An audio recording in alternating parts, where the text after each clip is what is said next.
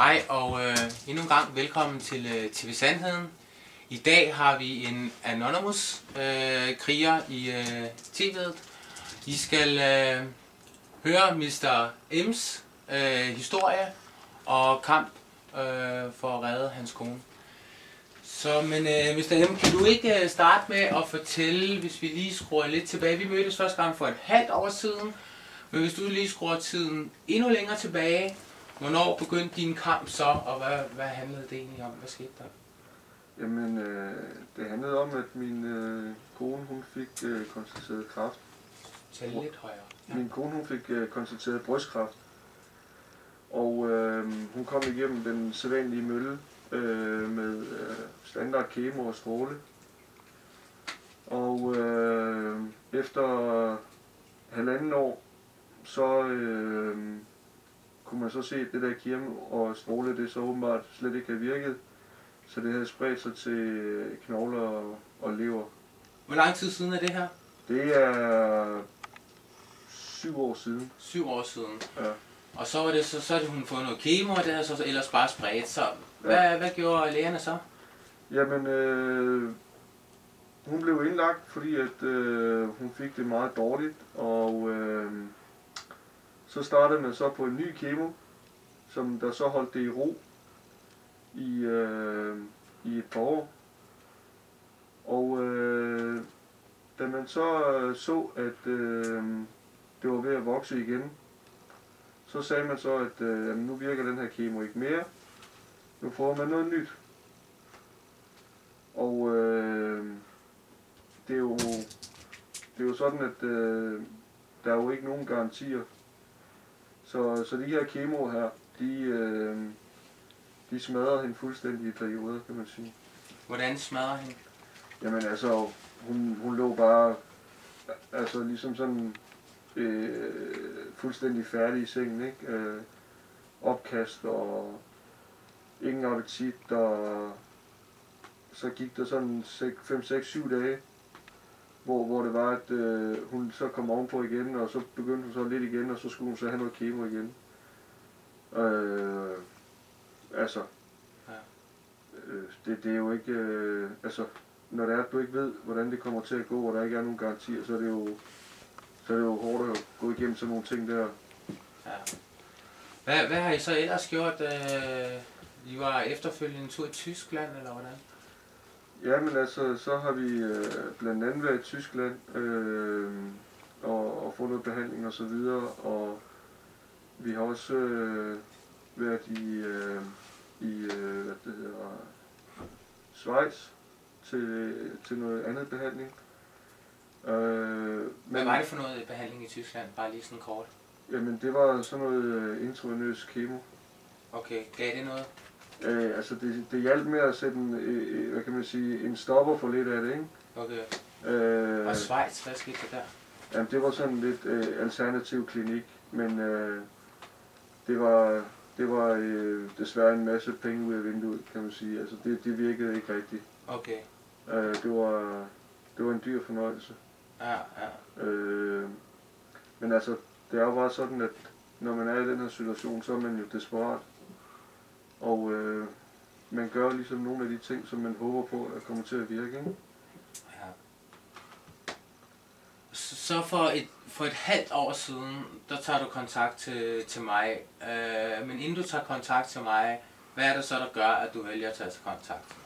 Jamen altså, igennem de sidste øh, 3-4 år har man undersøgt alle mulige ting, og man har læst øh, omkring cannabis og så videre. Man har aldrig rigtig gjort noget ved det, fordi at man ligesom øh, forbinder det med has og sådan lidt i det sorte, lidt i det farlige marked og så videre der, ikke? Ja, Så, så der tænker man, okay, der må findes nogle andre ting, som er bedre, øh, som man kan gøre, inden man nærmest bevæger sig over på den bane, hvor det er, det er sådan semi-kriminelt, føler man, ikke? Øh, ja. Øh, men, men så tænker man, okay, nu, nu er det ved at være sidste skud. Øh, og øh, altså, det er enten øh, nærmest døden, eller og så prøve den her cannabisvej her, ikke? Da, da I kom her til mig for, for et halvt år siden, der var, var status der, at din, din kone var terminalpatient, Ja, og hun skulle sådan set sendes på, på hospice. Ja. Hvor havde de snakket om, hvor lang tid hun havde igen? Jamen altså, de, de gav hende maks øh, en måned. De gav hende maks en måned. Jeg, jeg, jeg husker det tydeligt. Der, der var ikke noget, der skar mere i mit hjerte. Øh, selvfølgelig også andre lignende historier, men det, det gjorde virkelig ondt at se øh, manden her, øh, hans kone, som han elsker rigtig højt, og de har, har børn, som de også elsker, og hun kunne, hun kunne ikke bare kunne ikke bare tage sine børn. Og der var en måned at leve igen. Øh, I kom og købte øh, noget olie, og jeg gav jer noget ekstra olie, fordi hun skulle have så meget som muligt for at øh, få have en chance for at overleve. Jeg var ude i at sige, at hun skulle have et gram om dagen for at have en chance.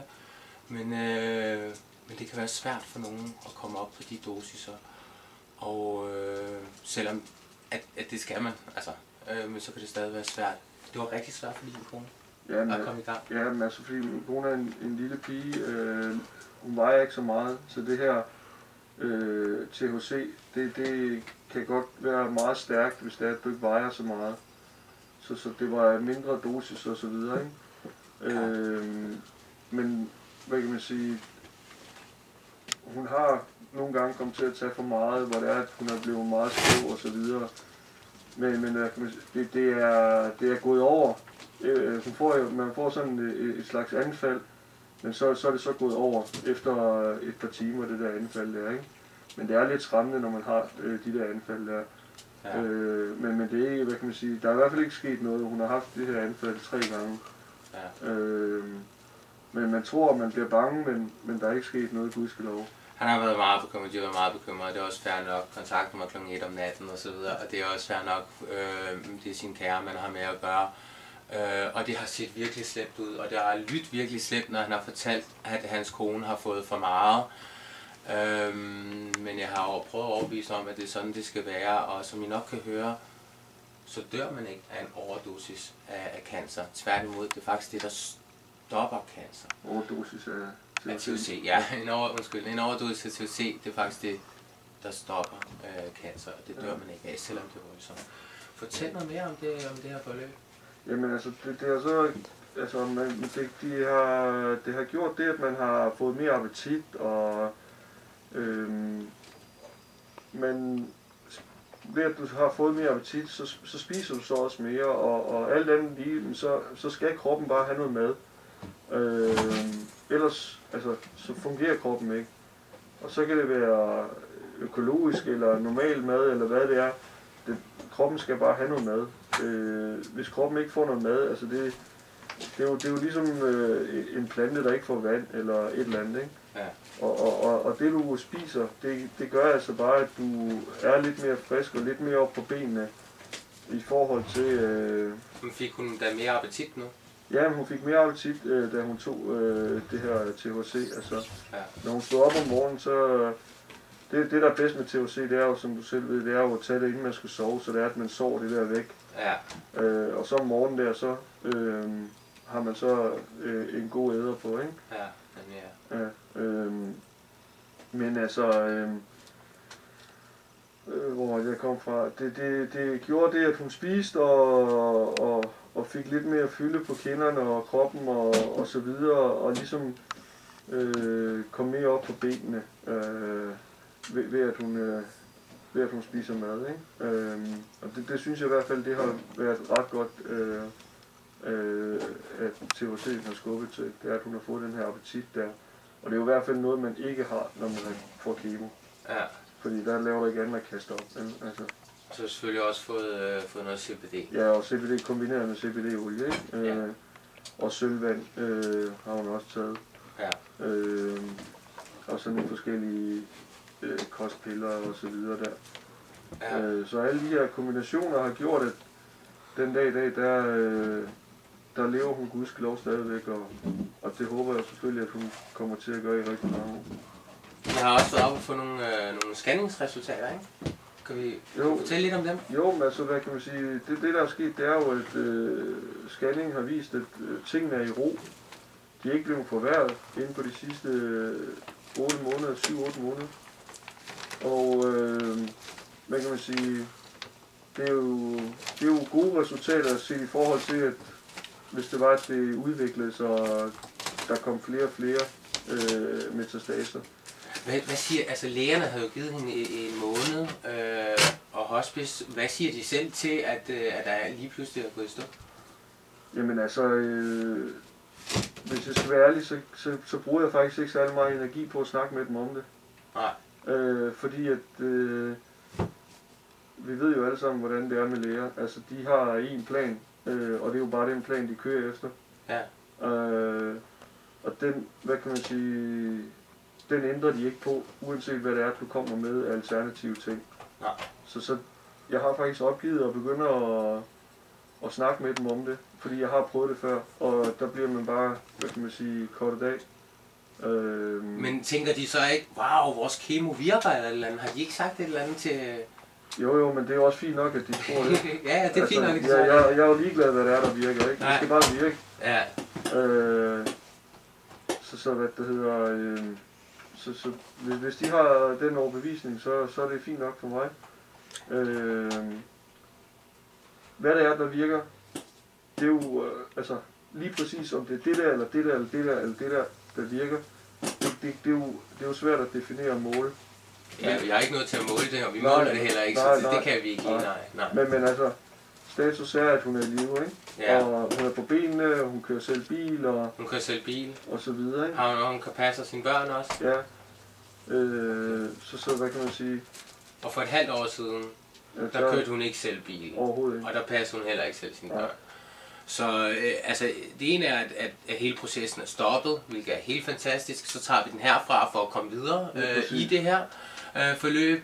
Men det, der er jo allermest fantastisk, det er at få sin førlighed tilbage. Hun har fået sit liv tilbage, og hendes børn har fået sin mor tilbage. Øh, det kan ikke blive en større gave. I hvert fald ikke til børnene. Øh, det, er jo, det, er jo, det er jo rigtig, rigtig godt. Øh, vi har jo snakket lidt, lidt om det, men øh, det er jo rigtig godt, at der, at der står op nu her. Så må vi jo bare øh, prøve at se, om vi kan kæmpe, kæmpe det helt ud. Ja, men præcis. Det er jo, det er jo hvad kan man sige, en kamp øh, øh, resten af livet. Men øh, det er en hård kamp, men altså, man har ikke noget mod at kæmpe den, så længe at øh, det holder ens øh, kære i live. Mm. Og så mm, kan det være, at den varer øh, 5, 10, 20, 30 år. Jeg håber, den varer 50 år. Jeg har ikke noget mod at kæmpe i 50 år, hvis det er det, der skal til. Nej, og det der er positivt ved det i den her kamp her, det er, at du kan jo passe børn samtidig, og du kan køre bil samtidig. Det kan du ikke i, i en kemoproces. Der er du afskåret fra samfundet, familie og, og også for, for dig selv. Øh, så det er en, er en noget øh, mere behagelig familieproces og enkeltpersonsproces at, øh, at tage den her form for behandling. Uh, ja. Er der noget, du synes, vi... Øh, at, at andre øh, skal have med af gode råd på vejen, som eventuelt vælger at øh, gøre det samme som dig? Jamen altså, jeg vil sige, at man skal være sin egen læge. Øh, det, det er ligesom det, jeg hvad kan man sige, har fundet ud af. Øh, og øh, ja, man skal ikke være bange for at tage øh, det her THC og CBD. Jeg vil sige sådan her, det kan godt være, at du måske lige kommer i sådan en rustilstand og så videre, men det er noget, der går over. Og det er i hvert fald ikke noget, der skader. Så man skal ikke være bange i min verden, i min overbevisning om, at det kan skade. Det, det, det er i hvert fald det, jeg har øh, ligesom fundet ud af, føler jeg, med det her. Øh, så der er måske nogen, der er nervøs for at blive skæve og så videre, så videre. Men alt andet lige, så er det bedre at være skæv end at, at tæt på at dø. Ja, samtidig med det ikke er, ikke fysisk og psykisk skadeligt, og, og skæver den, den, den æbber lige så stille og roligt ud igen. Og så er det bare fedt, hvis man har en, øh, en man er tryg ved ved siden af sig, øh, hvis er der for hinanden i, i, i sådan en proces. Er der lige noget, øh, Sundhedsministeriet og de andre burde få med på vejen? Jamen altså, jeg vil sige sådan her, ligesom mange andre pårørende til kræftpatienter, ikke, så ved vi jo alle sammen, at øh, nogle gange kan, kan det være svært at danse med dem, ikke? Øh, og på nogle områder, der har man da også været fint tilfreds med dem. Men øh, det er bare det der med, at de har bare den der plan der, og det er bare den, man følger, og så får du en ny kemo, en ny kemo, en ny kemo, og til sidst der har du simpelthen bare smadret så meget af, af immunforsvaret, at det er umuligt at Man overleve. kan ikke ændre noget i deres plan, vel? Nej, Nej. det, det er bare Sådan der. one way, Og the Nej. highway. og øh, det er ikke, det, der er ikke så meget med at tænke ud af boksen og så videre. Øh, Og men det, altså, øh, hvad, hvad, hvad fanden kan man gøre, ikke? Altså, du, du, øh, du kan jo begynde at søge til udlandet og alle mulige andre ting og så videre, ikke? Øh, men man er jo bare desperat. Øh, men det er bare underligt, at Danmark har en så høj dødelighed inden for kræft, øh, når man tænker på, at sådan i, i, når vi ser på, på hele verden, hvor, hvor højt vi er teknologisk og alle mulige andre ting. Ikke? ja. Øh, Så er vi totalt øh, på stenalderniveau op øh, ved ja, ja, sygehusene. ja, Og vi skal bare den her arm af. Den har cancer, så går det hele sgu nok godt nok. Så øh, det er sgu ikke skide smart, som jeg ser det. Men, øh, men det, jeg, det jeg hører dig sige, det er, at man skal være sin egen læge. Og øh, det kan ikke betale sig at bruge tid på læger. Det kan ikke betale sig at forsøge at ændre et system eller noget, for det kommer ikke til at ske alligevel. Så hvis man skal prioritere sin tid fornuftigt, så er man sin egen læge, og, øh, og gør, som du har gjort. Er, er det sådan lidt, lidt af råd på vejen? Ja, lidt, ja det, det vil jeg sige. Og så, øh, og så, ja, og så må man jo ellers bare, hvis det er, at man er troende, så må man bede til, at det lykkes, og hvis man ikke er troende, så stadigvæk håbe på, at det lykkes. Ja. Øh, Kærlighed er en hurtig frekvens, så den kommer man... Ja. så, men altså, jeg, jeg, jeg, jeg, jeg vil sige, altså, det, det, jeg klandrer både over med lærerne, ikke, men altså, de er jo bare underlagt nogle systemer, nogle regler, Ja. og, og, og dem må de simpelthen ikke øh, gå ud af. Nej, så skal de Så- finde sig et andet arbejde. Ja, så, så, fordi, så, så skal de finde sig et andet arbejde, ikke? Ja. Altså, de har bare underlagt nogle regler, så du kan, du kan, du kan ikke rokke ved noget af det. Nej, og, Og så fordi de- sygehus er underlagt medicinindustrin, som hører Ja. til USA, og det vil jo ikke sidde herfra og ændre et, et system i USA. Mm. Så, Så, det, så det er ikke fordi, at, hvad kan man sige, at, at, at, jeg synes, at, øh, at de er dumme eller noget, lærerne eller Nej. noget som helst. Vel? Fordi de, de følger bare nogle regler, som de har lært, og som de bliver uddannet under. og det gør de jo til gengæld godt. Altså, det som de skal gøre, det gør de jo Ja, godt. ja, ja, det er jo det. Øh, Altså, det er jo ikke... Øh, og det er jo også nogle, altså, det er jo nogle søde mennesker og alle de der ting, der er, ikke? Men det er bare ikke nok, når det er, at du står over for sådan en kamp her. Ej, du ikke bruge det til en skid, når dine børn er ved at dø, og din kone er ved at dø, altså skal hele lortet bare pakke sammen og... jeg ved ikke, Så- lukke ned, luk ned i, der, i vores verden. Men, øh, men det er også lidt det her, der, der er mange, der gerne vil kæmpe den her kamp her.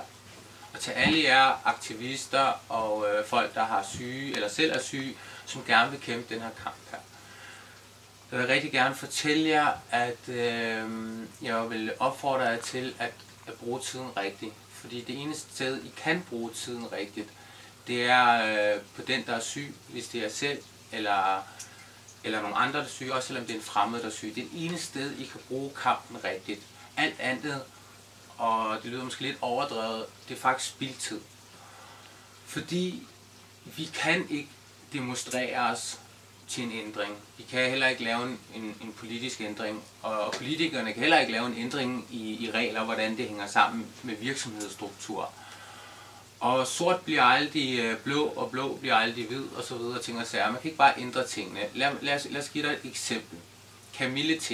Camille T er forholdsvis kendt, accepteret, og alle ved, og at Camille T kan være lindrende for halsen og lignende, hvis man, hvis man er syg og forkølet. Hvis du tager op til din læge og forkølet og syg, og du spørger din læge, kunne Camille T være godt for mig? Så vil lægen sige, ja, det kunne det godt. Spørger du så din læge, om du kan få noget Camille på recept, så siger lægen, ej, det kan du ikke, men du kan gå ned i Matas og købe noget økologisk god Camille eksempelvis. Skal lægen give dig noget, så giver han dig hostesaft, fordi det er ligesom det, der hører til hans butik. Det ene er medicin, kemi, og det andet er heb- og naturmedicin. Det, som nogen tror, at de kan og gerne kæmper for, eller kæmper lidt forkert for, det er, at de produkter, der er i Matas, lige pludselig skal ind på apoteket. Og da det er to forskellige forretninger, så kommer det aldrig nogensinde til at ske. Det er nogle forskellige regelsætter. Cannabis og camillity hører under HEP. Øh, Af naturlige planter, som vokser øh, herude i skoven og i markerne, hvor jeg bor. Både bor der, bor der både cannabis og kamillete herude. Det kan jeg så gå ud og plukke. Ifølge loven kræver det ingen særlig tilladelse at have med helt at gøre. Og, øh, og ifølge loven må man jo også godt bruge medicinsk cannabis. Så, øh, så alt det her såkaldt hæb- og naturmedicin vil altid komme fra enten Matas, eller sådan som mig, eller helsefolk, eller noget du selv laver, eller noget du plukker. Så hvis du gerne vil i gang, så lad være med at kontakte Sundhedsministeriet. Lad være med at bruge tid på politikere. Lad være med at skrive til dem osv. Fordi det eneste, de kommer til at gøre, det er, at de kommer til at gøre det sværere for dig. Det næste, der sker, lige nu er det faktisk frit for at bruge medicinsk cannabis i Danmark osv., hvis man undersøger loven på den måde, jeg gør det. Men når politikerne begynder at kaste sig over det her, hvilket de ikke har gjort tidligere, så sker der det, at de laver regler og love og afgifter og begrænsninger og dit og datten, for det er det politikere kan gøre. De kan lave et lille fængsel omkring dig. Når skal du have noget med medicin cannabis at gøre, skal du betale afgift. Når skal du have noget med, øh, hvad hedder det, at have medicinsk cannabis at gøre, jamen, så må du højst have fire planter. Når skal der have noget med medicinsk cannabis at gøre, jamen, så er det kun landmænd, der i forvejen har haft med cannabis at gøre. De laver lorte regler, der gør, at almindelige mennesker, slaverne i vores samfund, de almindelige borgere, sådan nogen som mig, ikke kan nå, nå medicinen, uden at vi skal betale for det. Vi er slaver i, det her land her. Det er jo klart, det, det, for, det er vi i mange lande, det er ikke så meget det. Men hvis du skal betale skat for at blive rask, hvis du skal betale skat for at blive mæt, hvis du skal betale skat for at få hus over taget, så er hele den ramme ind under din private ramme, hvilket betyder slaveri. Ganske enkelt. Du tilhører paven, det står i dit pas, du hedder type P, og når du får det pas, så, så skriver du under på, at du tilhører paven. Det ved folk bare ikke rigtigt. Har et produktnummer, et CVR-nummer, øh, nej, et CPR-nummer, og det er dit produktnummer. Så hvis I vil kæmpe for noget som helst, så skal I gå helt ned i vores grundlov og ned i, øh, i, i EU's menneskerettighedskommission, hvor der står, at vi er mennesker, og vi er frie mennesker. Kæmp for, at I er frie mennesker, og I har jeres frihed til selv at bestemme, om I vil være raske, om I vil hjælpe andre, og det er der ikke nogen, der skal blande sig i. Og så gør godt. Godt er at gøre noget godt for sig selv, og derefter for nogle andre. Øh, eventuelt uselvisk, det vil være helt perfekt. Alt det andet, det er en, det er, det er en tabkamp, eller det er noget, der ikke kan lade sig gøre. Du får ikke en nat til at blive til dag, og dag til at blive til nat. Matas rykker ikke ind på apoteket, og apoteket rykker ikke ind i Matas. Så det vi har brug for, det er alle jer, som har en viden om det her. Find de syge, hjælp de syge, har I ikke midlerne til det, så kan I få dem via vores hjemmeside, eller Holland, eller andre hjemmesider. Der er masser af muligheder for det. Hjælp de syge. Så er det her land så lille, at det går ikke lang tid, at vi har gjort dem alle sammen raske. Fordi det koster faktisk ikke så meget, når man først lige er i gang, og folk selv kommer lige i gang også selv. Så er det ikke så galt, så er det ikke sådan i forhold til sammenligning med at blive rask. Og når det sker, så lukker vi 50% af sygehusene, 90% af psykiatrien, og så synes jeg godt, at vi kan kræve lidt skattelettelser i den sammenhæng. Så kæmp på den måde. Landet er så lille. Det tager os altså ikke ret lang tid lige at gøre folk raske i det her lille land her. Så øh, det er min opfordring til jer i dag. Er der mere, vi lige skal øh, have med i, øh, i dagens nyheder? Nogle spørgsmål, noget... Øh... Nej, men altså, ikke udover at øh, jeg er taknemmelig over, at du bruger så meget tid og energi på at, at hjælpe øh, folk, der er i nød øh, og syge. Det synes jeg er godt gået. Øh, det, det må jeg tage hatten af for. Øh, så, det får du så lov til. Ja. tak for det. Ja, det var godt. Tak for i dag. Følg med næste gang.